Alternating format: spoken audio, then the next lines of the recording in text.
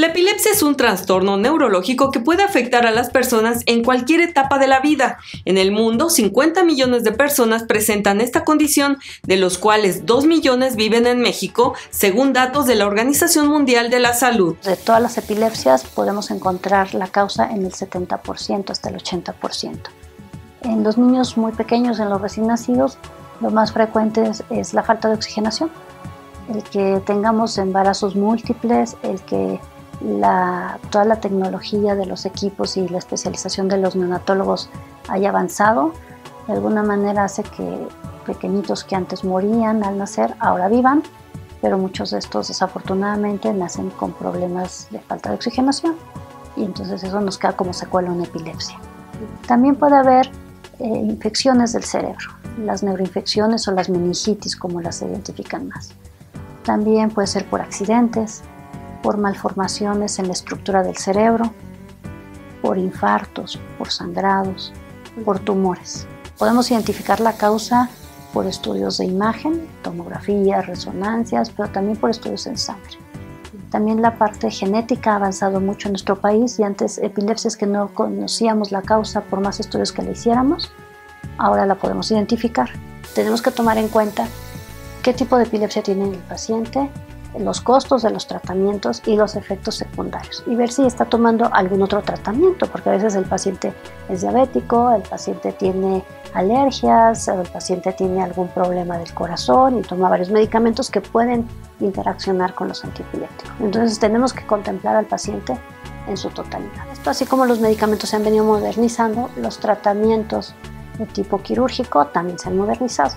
Entonces el tener algo que se llama marcapaso o estimulador del nervio vago nos ha ayudado también a controlar algunos tipos de epilepsia que han demostrado que no responden bien a los medicamentos. Así como hacemos el marcapaso del corazón, este estimulador del nervio vago lo que hace es que todos estos foquitos que están encendiendo y apagando los ponga, los meta a un mismo ritmo.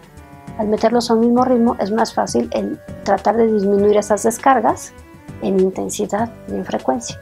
Entonces pacientes que antes tenían 40, 50 crisis en un día, empiezan a tener menos, 10, 5. Se empiezan a disminuir la duración, que antes eran de 10 minutos o de 7 minutos, ahora eh, ya son de segundos, ya no caen en estados epilépticos. La estimulación del nervio vago. Esto se coloca también un estimulador a nivel del cuello, en el nervio vago del lado izquierdo.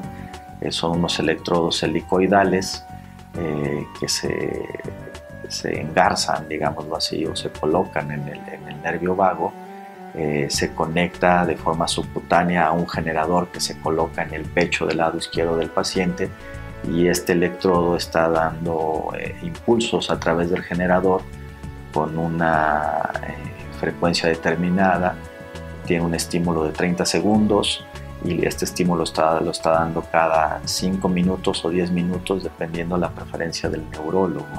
Tienen diferentes indicaciones.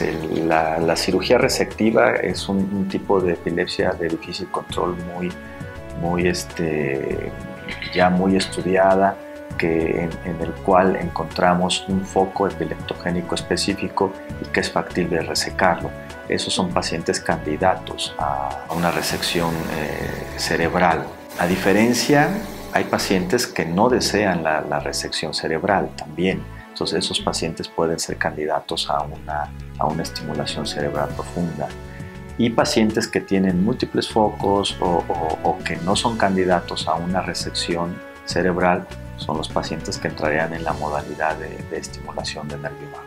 El paciente sigue con terapia farmacológica, se reduce en un porcentaje estos medicamentos. Esto definitivamente no sustituye la terapia, pero sí se disminuye considerablemente de tal forma que mejora la calidad de vida del paciente. Soy Lorena Ríos y los espero en otra emisión de Vértigo Saludable.